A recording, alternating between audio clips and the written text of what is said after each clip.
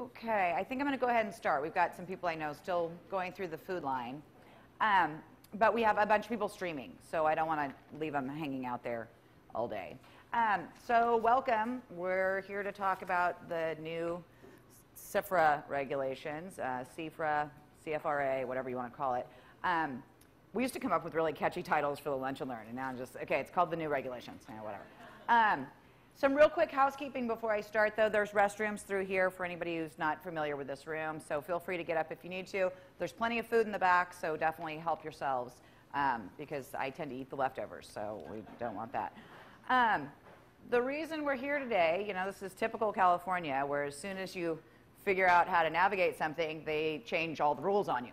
Okay, so we've got to stay up to date on this kind of stuff. It's a great reminder um, just to make sure, you know, that when we talk about handbooks and these kinds of policies, whether it's leave of absence, wage and hour, this stuff is constantly evolving. It's constantly changing, whether through new regulations like we have in this case or through court decisions, um, whether they're federal decisions or state decisions. Uh, and then, of course, we have our new statutes that come out each year. So this is not something we get to just check off of our to-do list and say, now we know how to do leave of absence and we're all done.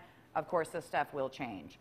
Um, and when I come back in a couple months and do the legal update, I'll give you all the new information about how the stuff has changed from today to then. Okay, so this stuff is constantly evolving.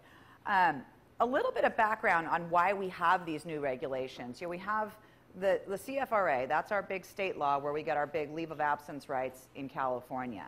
The companion law to that is called the FMLA, the Family and Medical Leave Act. That's the big federal law.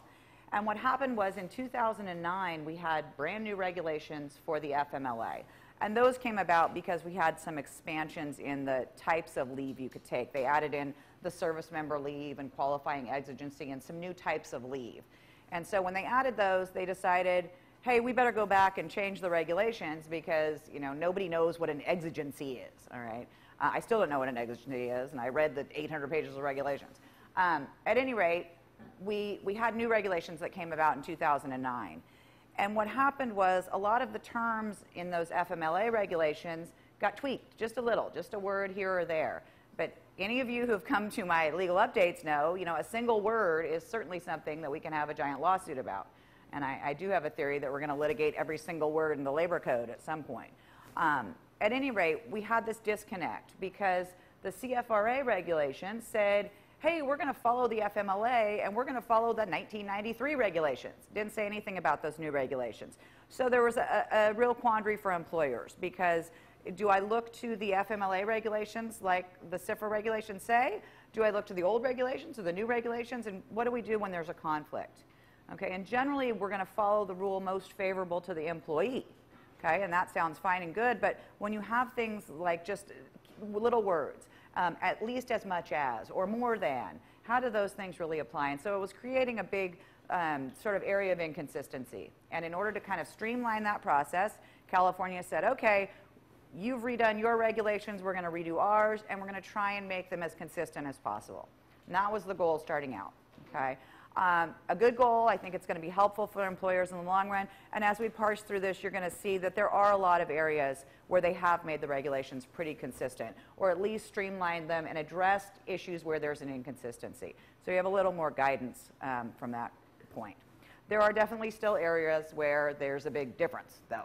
Okay, and so the key is to be aware of where those differences exist, so you don't happen to fall into a you know mine hole somewhere okay, that you didn't even know was there, um, and so that we can be aware of this kind of stuff.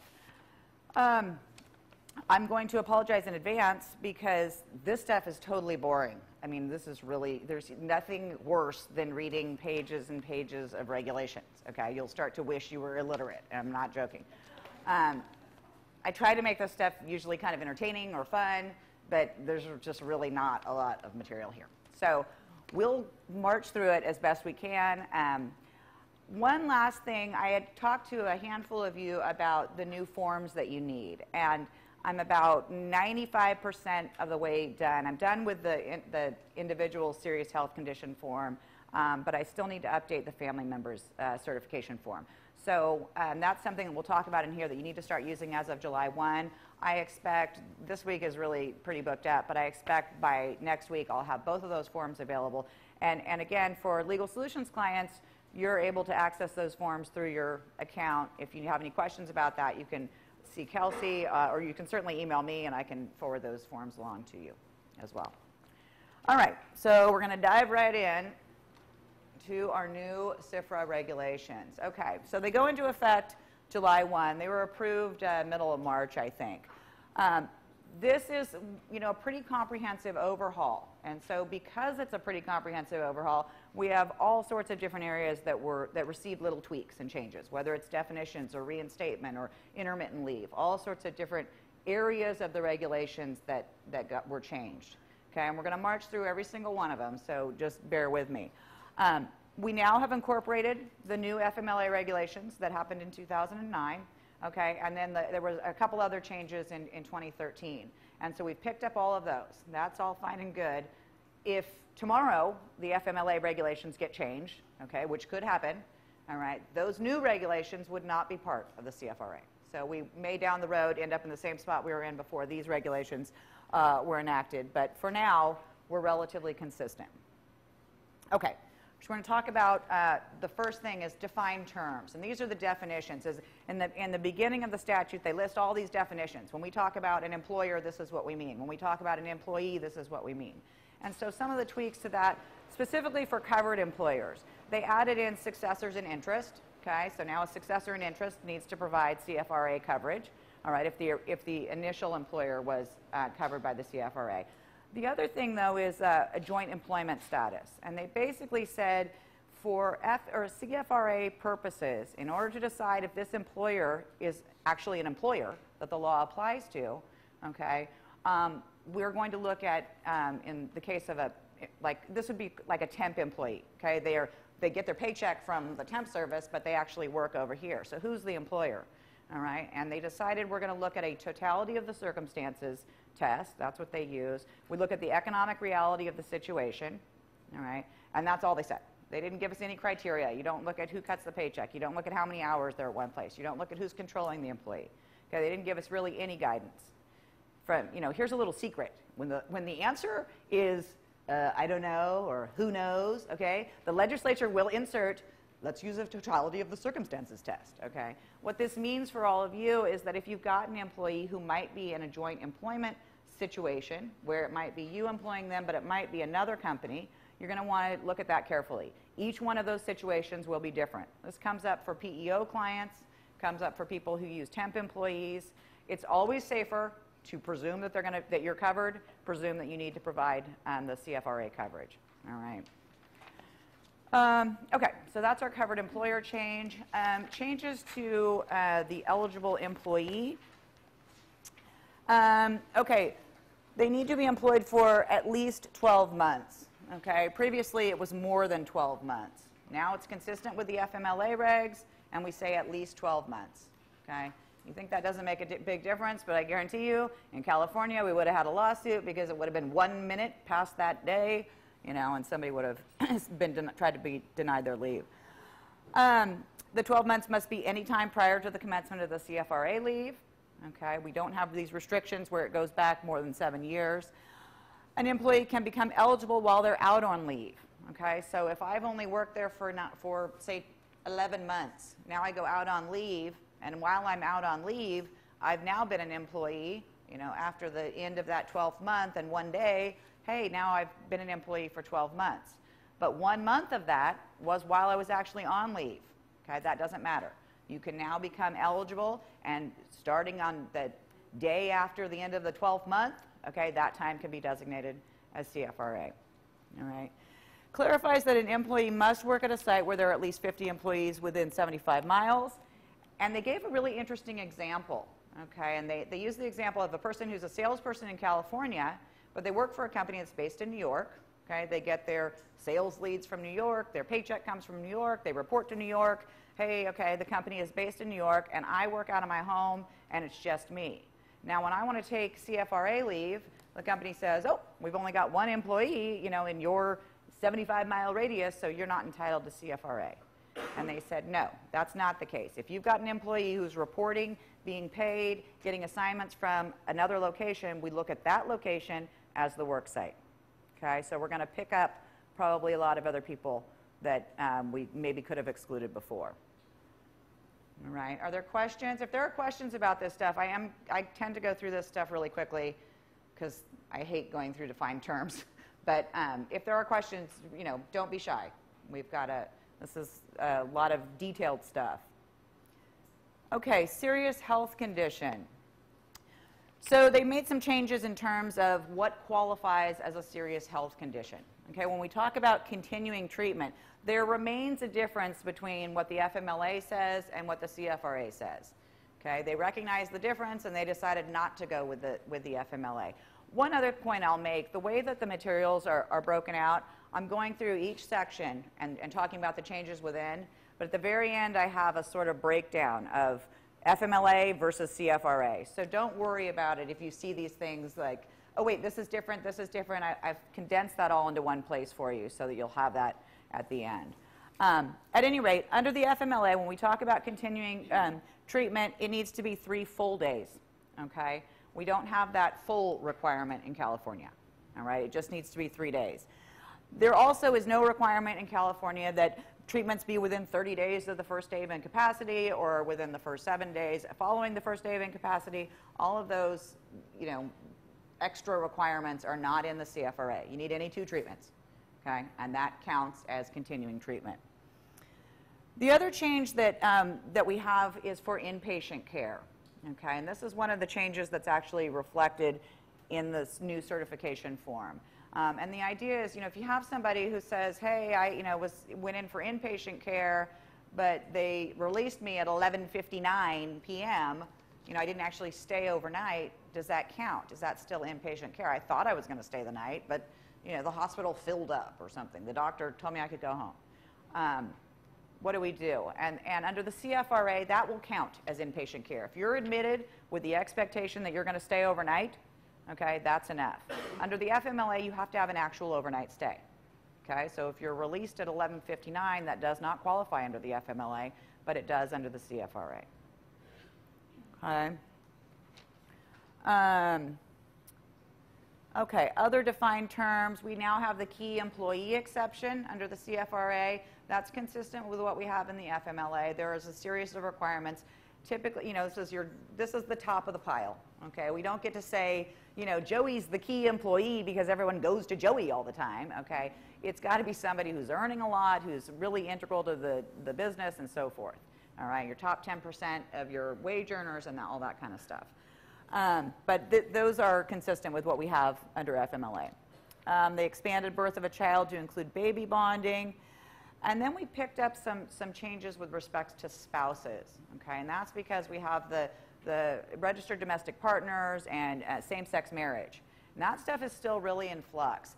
Under the FMLA, we had a rule that basically said, look, we're going to look at the place of celebration, not the place where the person works. And that comes up because I've got a lot of clients who have multi-state operations. So what do you do if somebody gets married in California and their same-sex marriage is valid here? We move them to Texas, to our other office. Okay, they're working in Texas and they want to take uh, you know, FMLA or, C, or well, FMLA over there um, for their spouse, but Texas doesn't recognize same-sex marriages. Okay, under the FMLA, they say we're going to look at the place of celebration.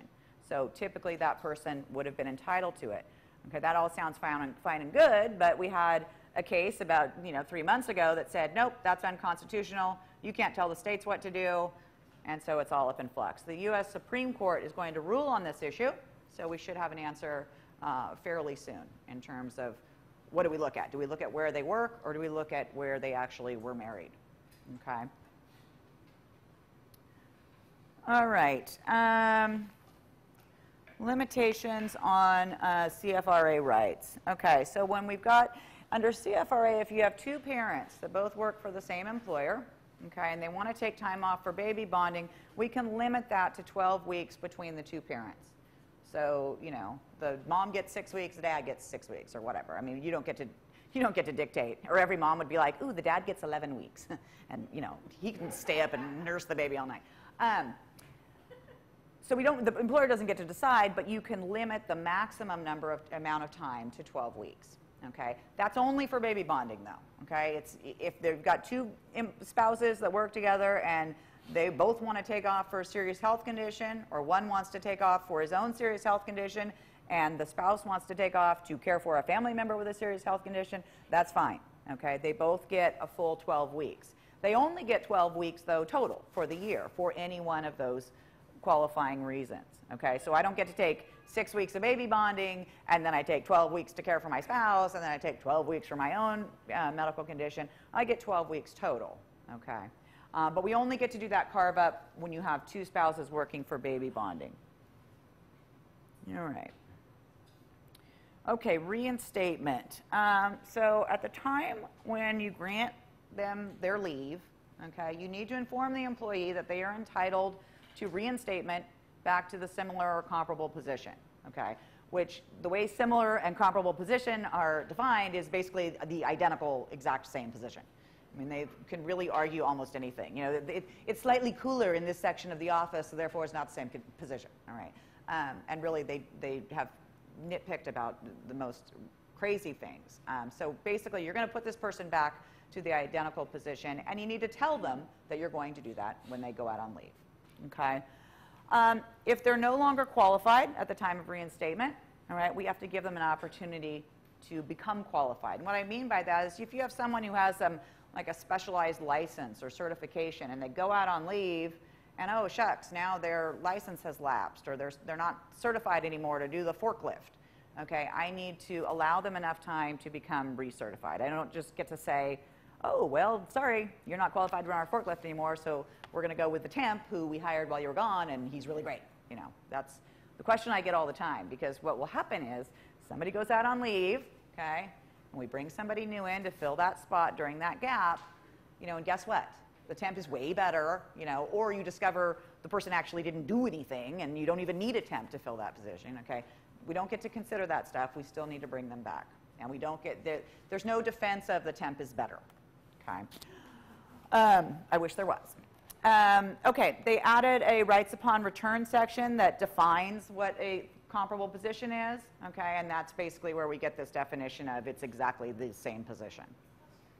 Yeah, is there a question? Now I'm hearing things, okay. Um, and the employer can accommodate an employee's request to be restored to a different position, okay? So if the employee comes to you and says, hey, I know I was out and I used to run the forklift, but I'd really rather work in the shop, okay, that's fine. You can accommodate that if you want my little caveat for you is get it in writing. I want a note from that employee that says, I voluntarily elected to move to this. I was not coerced, intimidated, instructed, blah, blah, blah, anything by my employer to do so. This is my own voluntary choice, okay? Because what can happen is down the road, of course, when you lay them off or fire them or whatever, or they get really mad at you, they'll come back and say, gee, I went out on leave, and then they moved me to the shop. And they tend to sometimes remember things a little differently than the employer does. Um, so just make sure you get that in writing if, if that happens. Okay, defenses to reinstatement. And what I mean by this are these are reasons or times when you would not have to restore that employee to that same position. Okay, and so when does the employer have the option of saying, oh, shucks, by the way, you don't get to come back? Okay, and the big one is this if they would have been not employed otherwise. Okay, what we mean by that is there's a layoff. So I go out on leave. While I'm out on leave, the company gets totally restructured and they do away with the sales department entirely. Now I come back and I'm the you know top sales girl, okay, and they say, shucks, we have no sales department anymore. You would have been laid off with everybody else. You're not protected just because you were out on a leave. Okay. What I see all the time though is the layoff of one. Okay, and that's not going to work because you don't get to say, well, we restructured the sales force so that you're not part of it. Okay, if you're going to lay everybody off, I want you to lay everybody off. And here's another one that I had a client try not too long ago. They said, well, we're, laying off the entire department. Okay, oh, great. Okay, well, then we don't have to worry about this girl who's out on leave. Okay, we're going to rehire everybody else uh, back from that department. We don't get to do that either. Okay, and we're going to rename the department. You know, much better department now that you know Jill's not here, whatever. No, we don't get to do that. So if it truly is a layoff, that's fine. If it's a restructure, I like to have that linked to some sort of business reason. There's a, you know, something that we can tie that to. And of course, the more employees that are being laid off, um, the better from the employer's vantage in terms of that it looks like this is really legitimate. You know, if you're only laying two people off, I don't know. That, that starts to, you start to get into that gray area where it looks like you're trying to come up with some fabricated reason to lay this person off. Okay, so, but if it is a true restructure and layoff, then that's fine. Um, the employer has the burden to show that the employee would not have been employed on the requested reinstatement date. Okay, this gets into a really sort of picky question because under the FMLA it, and previously under the CFRA, it was you look at it at the time that reinstatement is requested. Okay, so do we look at is there a position available when the employee asks to be reinstated or at the date that they're actually going to come back? Okay, under the CFRA, we look at the date when they're actually going to come back, not the date when they say, hey, I'm going to be coming back. Okay, and so we'll see how that plays out because you know, if you're trying to make a decision in how you're going to restructure your business, and the employee asks on this date, but you make a different decision, and on this date when they come back, there's no position for them, that's where that discrepancy would come up. Okay, so it's just something to be mindful of. Um, of course, the defense does not apply if the position was, if the person was just replaced. You know, that's the temp is better. Okay, we don't get to say, oh shucks, there's no position for you here because you know Susie Temp is doing it and she's great. All right, that we don't get to use that defense then.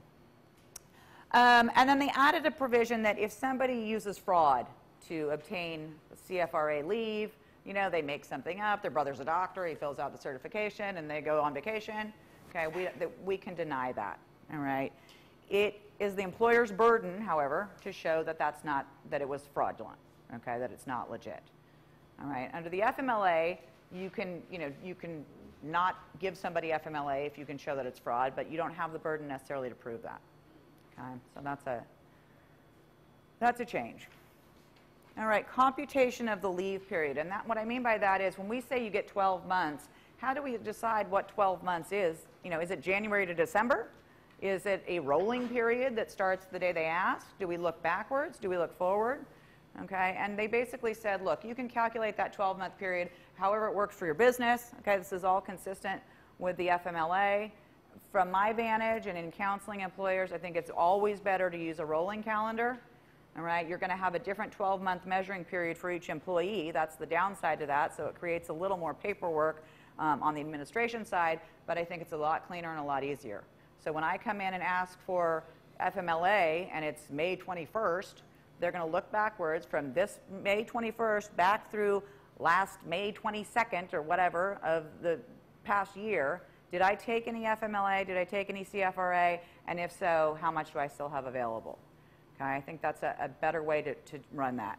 The problem with using the calendar year is that they can take the first 12 weeks of January, okay, or the last 12 weeks in, you know, ending in December 31st, and then we start a brand new year, then they can take another 12 weeks beginning January 1. So you can end up with a situation where someone's out for 26 weeks in a row, okay, which can be pretty difficult to, to handle from the employer's standpoint.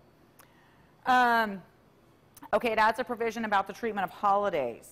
All right, so um, if you've got somebody who's out on CFRA and it's July 4th, okay, and the office is closed, and that's our policy, and we typically give everybody that holiday off, or maybe we pay them while they're off. You know, you don't have to get paid holidays, but if you choose to, do I count that day as a day against their CFRA?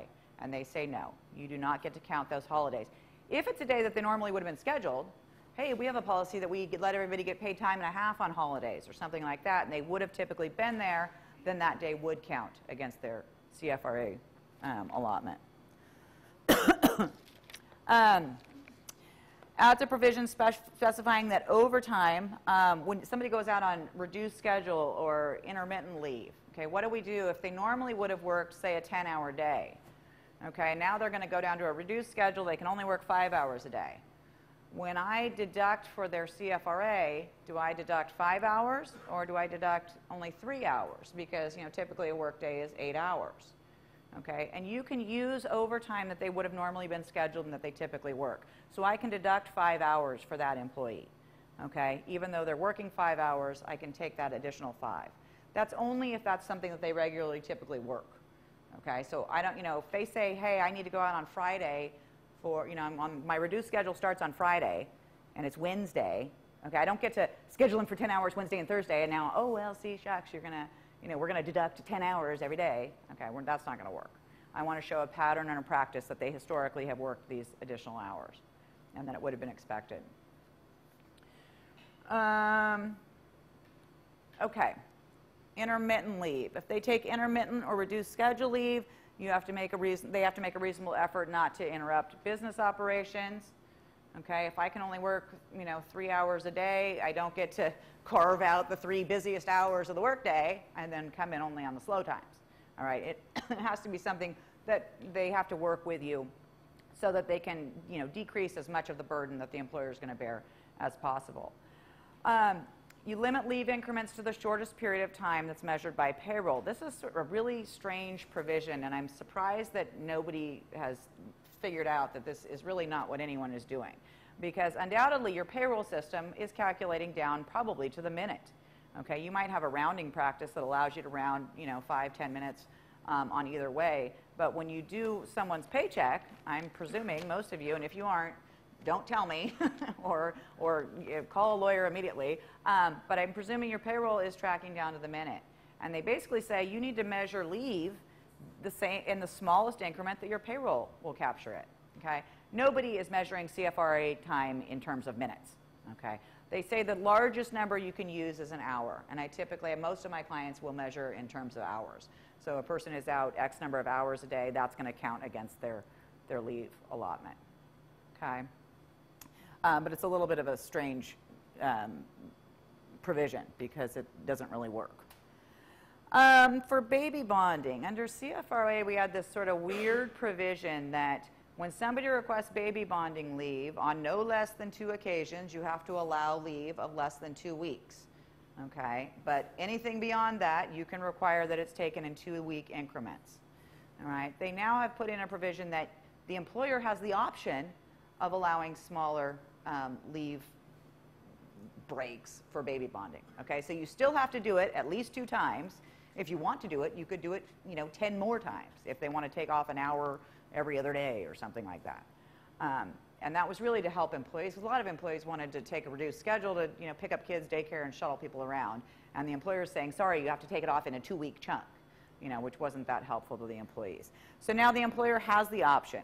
Okay, you only have to do it twice, but you can do it more frequently if you want.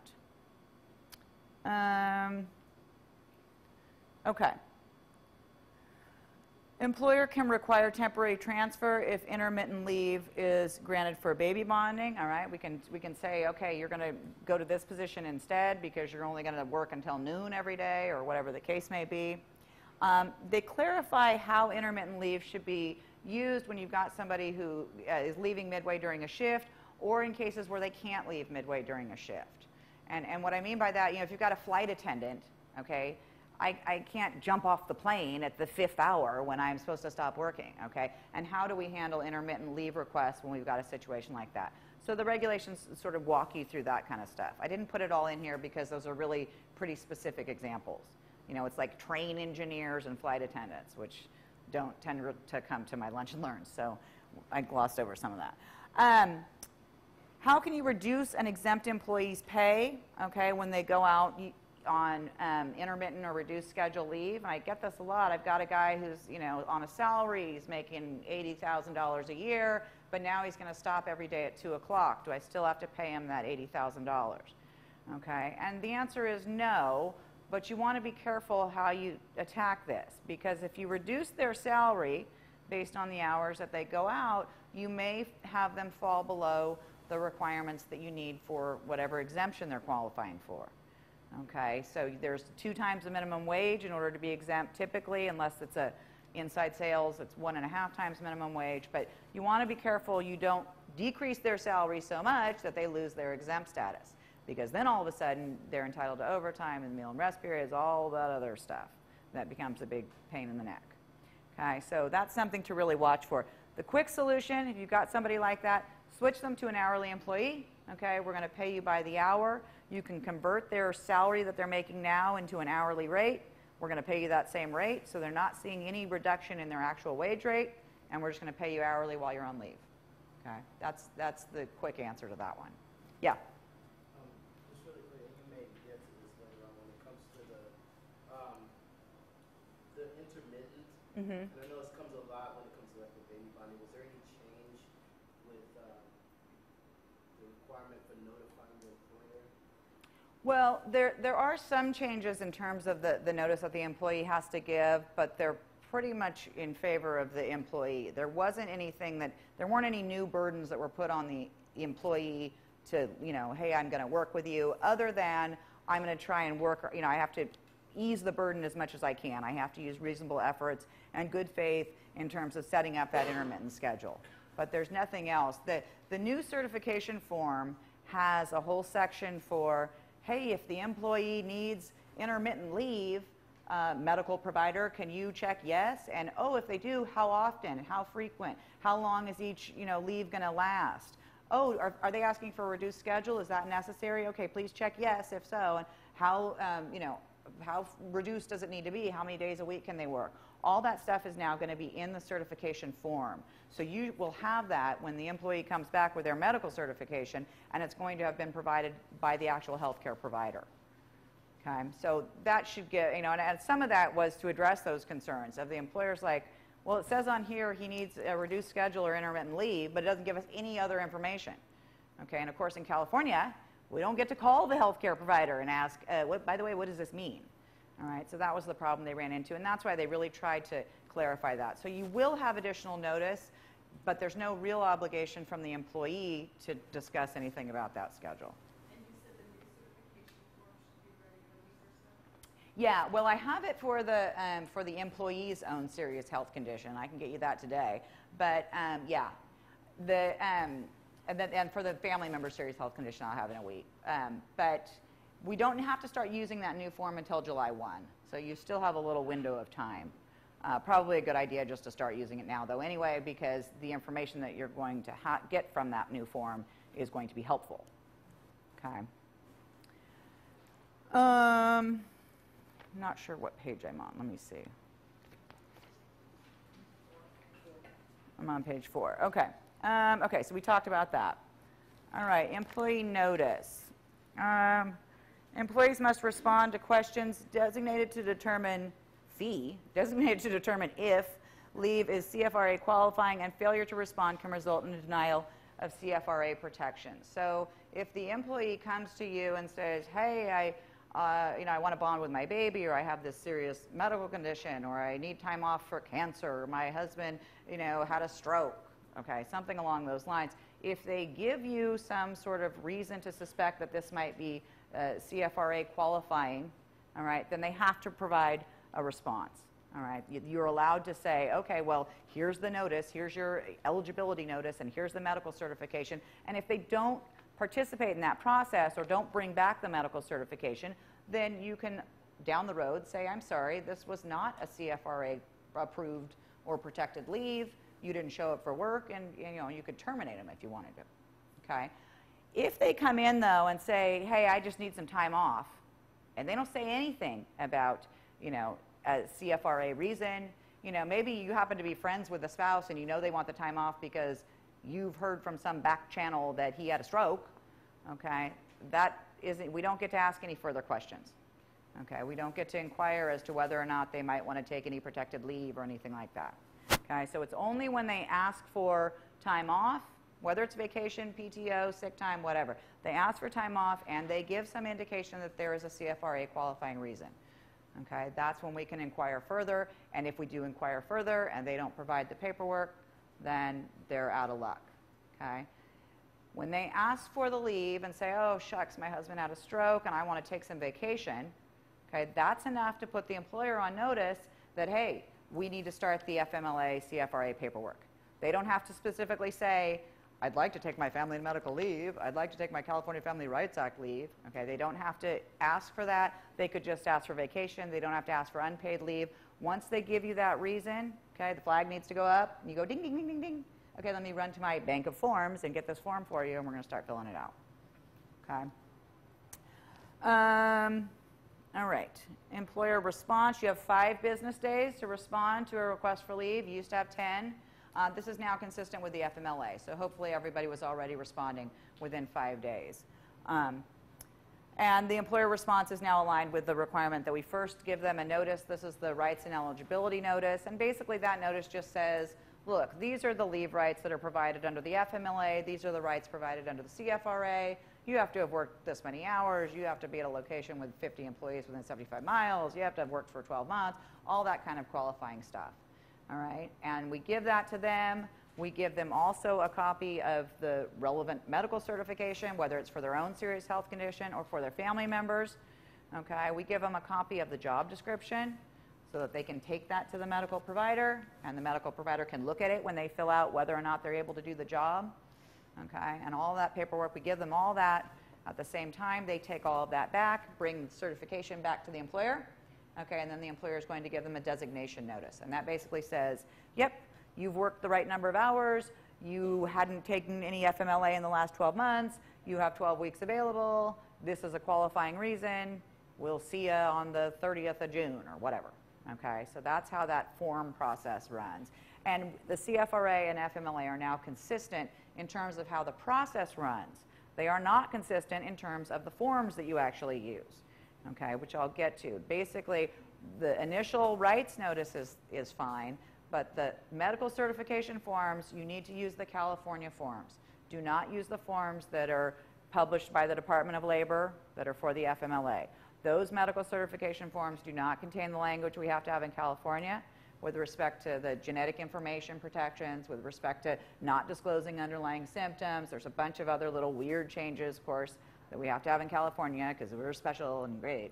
Um, so we've got our own form, okay? So do not use that form. Um, and again, that's the form that I can get you. I can get you the employee's own serious health condition today and the other one next week. Um, okay, so those are the forms we're going to give them when they come in and ask for leave. And then the actual medical certification itself. This is where we see probably the biggest discrepancy. I mean, aside from you know, pregnancy and the military caregivers, this is where we see the biggest change between FMLA versus the CFRA is in this medical certification form. So if you get the certification form back, you know, and doctors scribble and have horrible handwriting and you can't read anything, okay, as a California employer, you can call that medical provider and say, did you actually fill out this form? Okay, and that's all you can say. You can't say, I can't read this because it's all written in like lines and scribbles. What does it mean? Uh, we don't get to ask any questions. Okay? Under the FMLA, you can call to clarify. Okay, what, what does this mean? You know, it looks like it's written in Greek. Um, but we don't get to do that under the CFRA.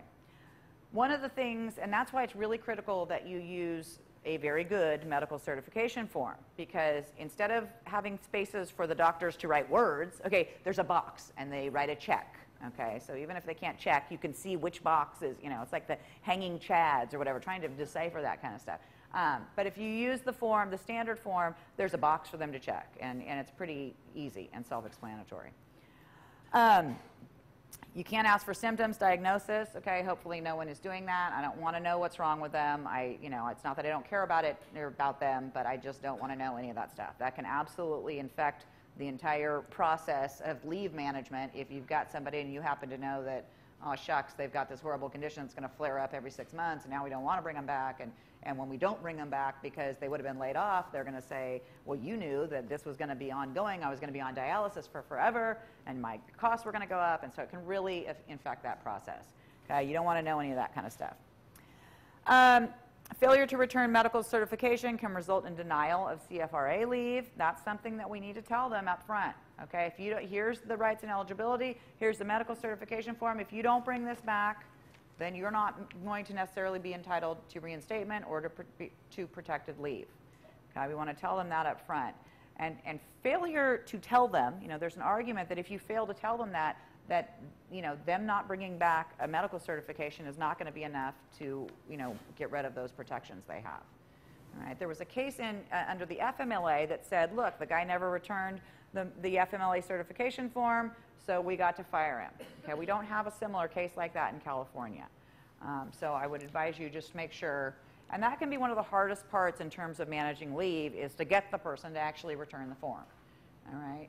Um, generally, they're supposed to return it. You know, I think in, under the FMLA it's 10 days, and I think in uh, the CFRA they have a reasonable amount of time. Um, I would err on the side of giving that employee more time. okay? Because it's very easy for them to come back and say, I couldn't get in to see my doctor until this date. It's, all, it's very impacted and so forth. Um, okay, so second opinions, okay? In California, we only get a second opinion if we have a good faith reason to dispute it and if the qualifying reason is the employee's own serious health condition. Okay, don't get to get a second opinion when it's their spouse or their family member's serious health condition. Okay, there's no second opinion for baby bonding. I don't know how you get a second opinion on that, but anyway. Um, under the FMLA, there's a lot of other instances when you can get a, a second opinion. Okay, you need a good faith reason, and, and what I mean by that is, you know, if it's filled out by their sister, okay, and that's the doctor, you know, or it's in crayon, and you're like, really, this is not a doctor did not fill this out. Okay, that's what I want. That kind of objective reason to doubt that certification. Under the CFRA, we can only ask for recertification at the expiration of that leave period. So if they were originally put out until May 20th, okay, on May 20th, I can ask for a new certification. I don't get to ask for it, you know, earlier than that. Under the FMLA, there's a series, you know, there's different times when you can ask for um, recertification. Okay. Return to work release. Um, employers are not entitled to a return to work for le- release for intermittent leave. So this is somebody, you know, I'm going to go on reduced schedule, and so I'm going to, you know, leave every day at noon. Okay, well, I don't get to get a fitness for duty the next day when they show up at, you know, at 8. And then they've left at noon, they left early, okay, another fitness for duty. No, I get one fitness for duty when they come back on that release, on that reduced schedule. Okay. Um,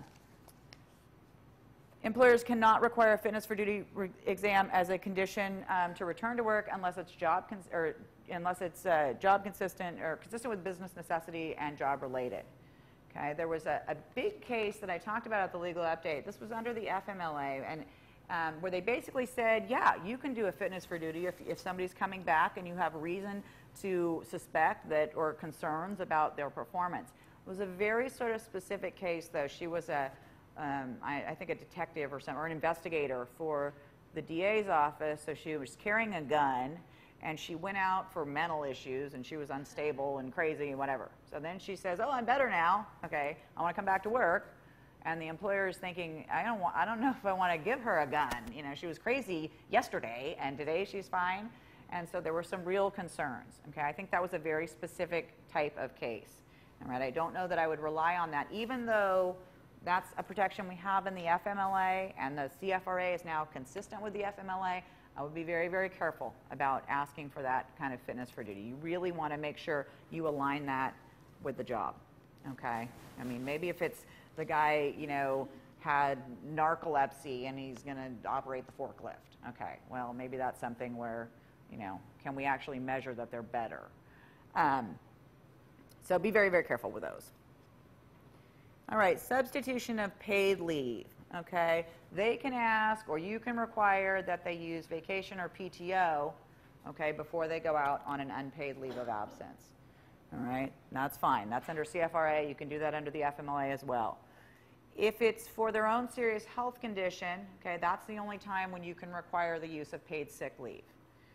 Okay, there's a, you know, little wrinkle there because we now have the new California paid sick leave law that will also go into effect July 1. I, under the paid, new paid sick leave, employees can use paid sick leave to care for family members. So I suspect that the employee can also demand to use that new California paid sick leave if the leave were to take care for um, a family member with a serious health condition. Okay? Generally, if the employee asks to use that leave, it's going to be fine. Where this problem comes up is when the employer is demanding, I want to make sure you use that leave up, okay, while you're out before you take unpaid leave.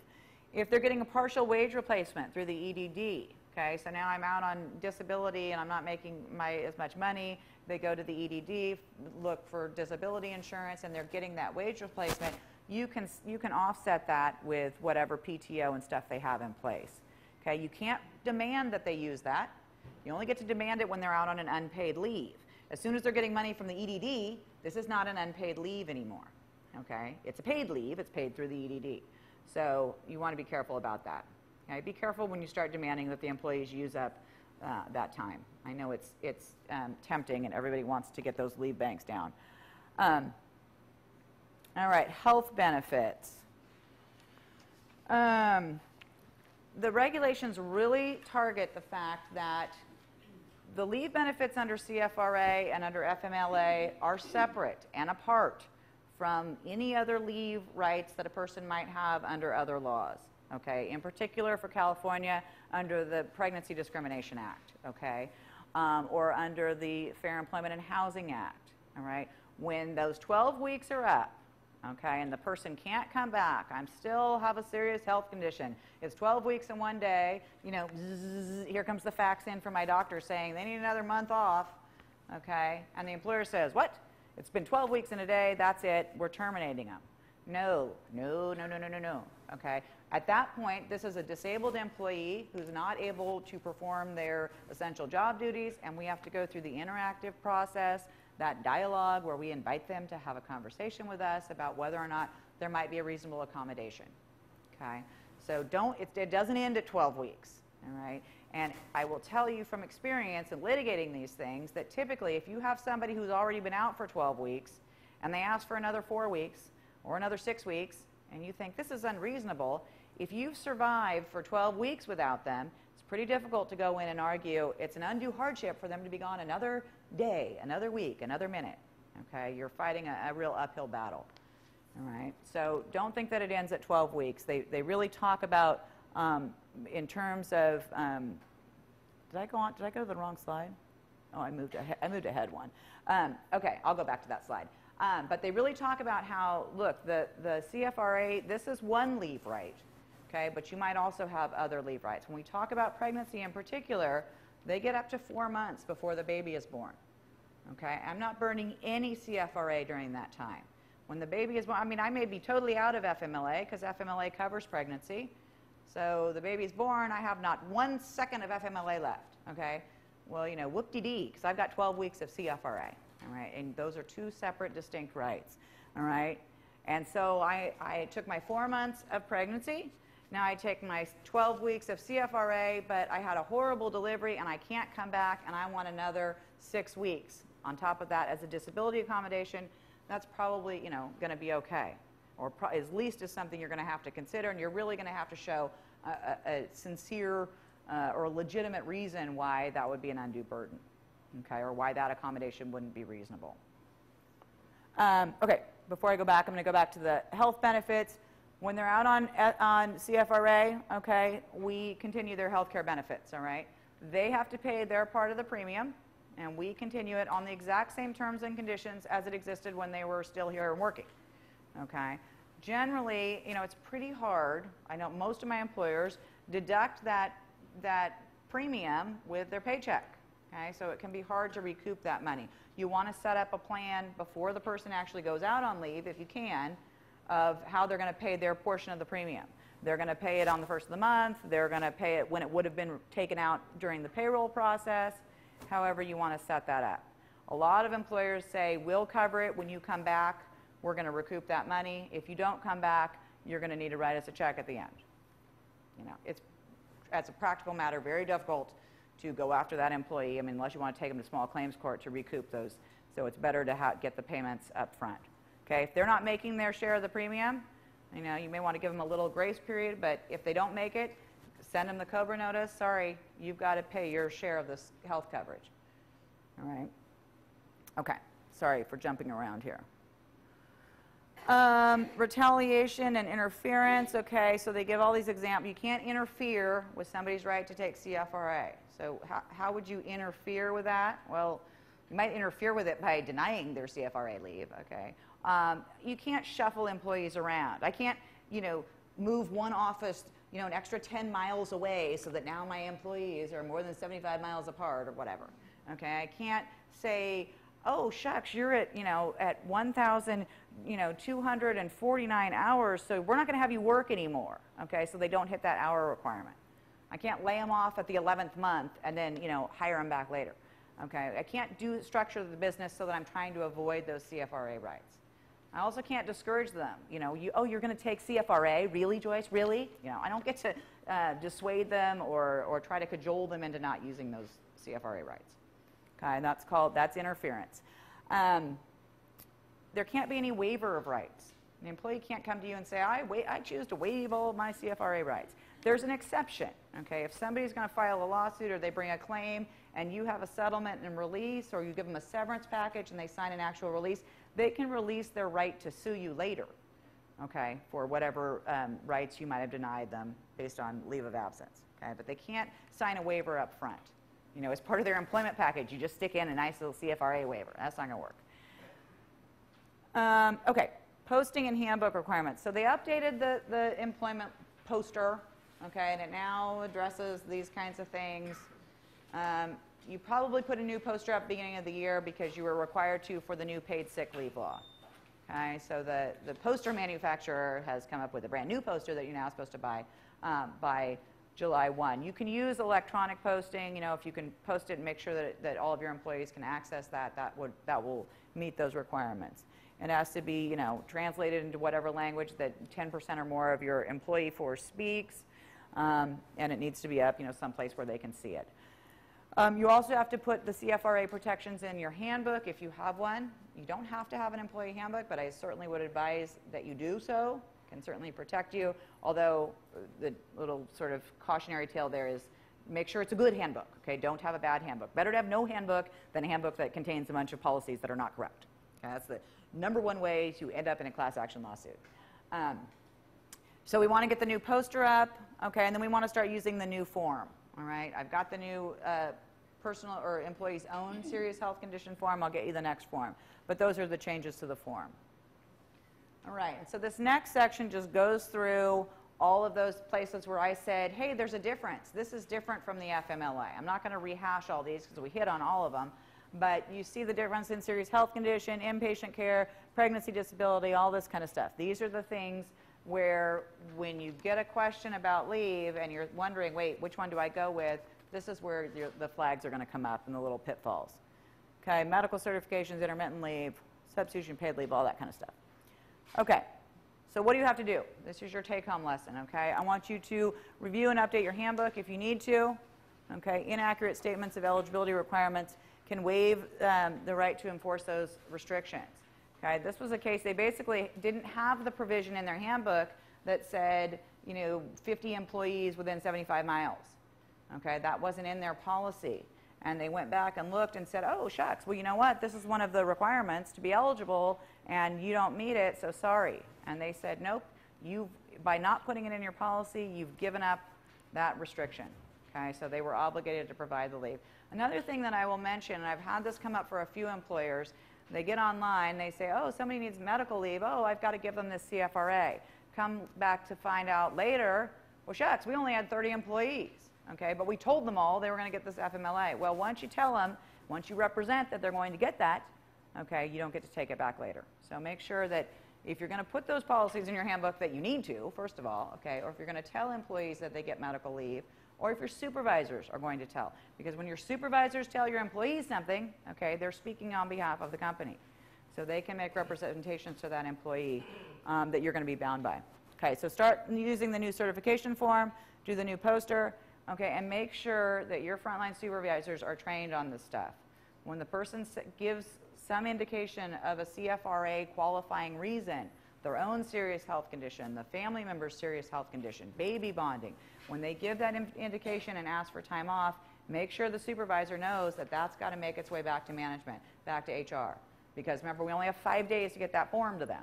Okay, so I want to make sure that, you know, if you don't find out about it until two weeks later, you know, I had an HR person call me a couple weeks ago, and she's like, "I didn't even know that the lady was out on, you know, pregnancy leave until we saw these flowers in the office or whatever." You know, you think, okay, well, there's a serious communication problem going on in that workplace. All right. So, are there questions? Yeah, Eric. When you said post a new poster, is there going to be like a uh, one we can go online and print out? I think you he'll. have to actually get the whole. Um, you know, that question has come up twice now, and I don't know. I mean, I'm sure if you just get the information, if it's as long as it's in large, legible print, you can stick it right next to the poster and just buy a new poster next year. The key is that the information is there and available, and the employee can see it. Um, you know, I, and if you can use an electronic posting, then I would presume that you could also use a, you know, just a notice that you stick up next to that. I've not seen anything from the DFEH um, that is here. Print this in large font and stick it on the wall. Um, but I, I believe Cal Chamber has a new poster. So you could just cut and paste that part of the, that poster out and stick it on the wall. But I can look into that. Sorry. Others? Yeah. language for the handbook, do you have a condensed version that we would insert to put this into the employee handbook? Uh, well, there is no condensed FMLA CFRA policy. Yeah, when I, yeah, um, yeah. Well, and so if you're going through your, hand, I mean, it depends on how old your handbook is in terms of. No, I mean, if it's, there isn't a lot that has to change in terms of the handbook policy based on the new regulations. A lot, most of the policies won't have a lot of these terms defined in there. You know, it'll it'll sort of reference those, but it might reference code sections and things like that. So you may not have to change that. Depend, I mean, but it's going to depend on what your policy looks like. I can tell you that I mean they run anywhere from five to seven pages in most of the handbooks that I do. So it, if it, I mean, unless it's real small font, it might be four pages. But it's a, yeah, there's a whole bunch of different sections. This is when you know you get it. This is when it's your family member. This is when it's baby bonding. This is when it's military. This is when re- reinstatement is. This is intermittently. So you've got to march through all those different paragraphs. You know, and it's the, the crazy thing. You know, they do this so the employee has notice of all these rights. You know, but you know, the more stuff you pack in there, it's like these warning labels. No one's going to read that. I mean, really? You know, I only read it because I get paid to read it. I certainly wouldn't read it if I didn't have to. You know, but sorry, that's just me. Um, okay. Others? All right. You survived an hour of regulations.